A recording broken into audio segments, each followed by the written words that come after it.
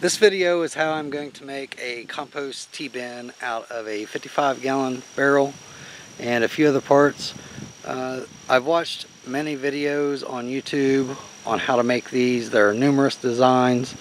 I'm going to start with a very basic system um, and then upgrade it in a couple weeks once I have the parts that I need for the more advanced system. Um, and you're going to need a few things. You're going to need a screw gun and a drill, a jigsaw, a pump, air tubing, uh, some air rocks, uh, some sort of a support for your bag that's going to hold the compost. I'm using a five gallon paint strainer as that bag. Um, you're going to need some hinges and either a uh, barrel clasp or something similar to, for the lid. Um, I think that's about everything. But I'm not going to talk all the way through this because I don't have a microphone. So we're just going to wing it. And I'm going to make this work.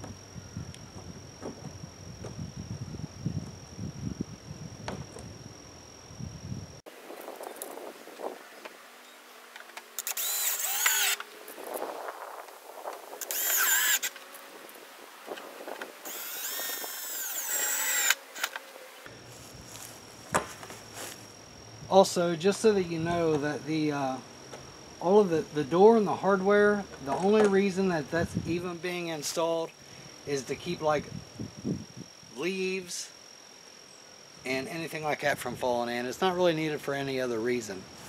Um, doesn't have to be airtight or doesn't have to look good. You could actually even just leave the door, the top off if you wanted to.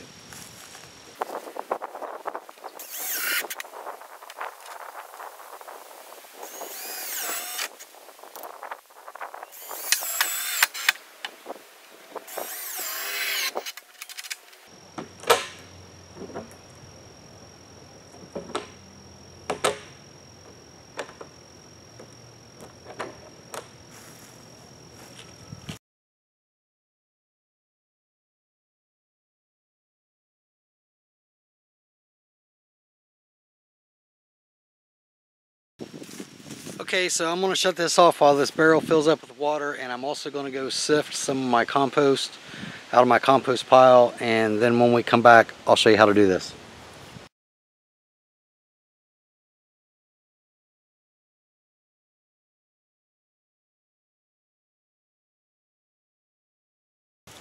Four or five minutes to fill my barrel up from a cistern pump a little bit something about my water. My water is rainwater collected right off the roof into this massive gutter system, goes straight into two connected cisterns.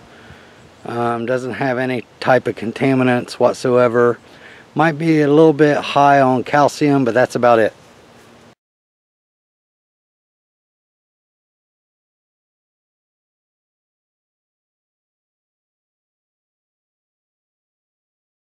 The other thing is, I'm not sure how much compost that I needed. I filled this up until I was afraid that this might end up breaking under the weight of the compost. And so I also went ahead and connected my air lines to the rocks. So this is a four channel unit. So I've got three air stones all the way in the bottom, kind of spread around evenly. The fourth air stone goes down inside your bag of compost and then you tie the bag of compost to your PVC uh, pipe that I drilled the hole for. So let me get this in here. First time I've ever done it. If I mess it up, oh well, we live and learn.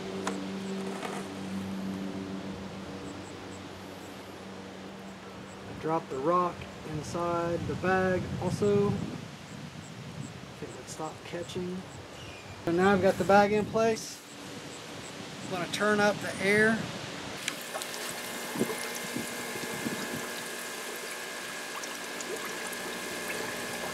So you can see all the bubbles coming up from the air stones. Looks like I got good circulation. So now all I'm going to do is move the pump out of the way, close the lid, set the pump back down on top of the lid. Okay, so everything that I've read on the internet says you're supposed to leave this run for 24 hours straight. So it is uh, 418 right now. I'll let it run until 418 tomorrow or thereabouts.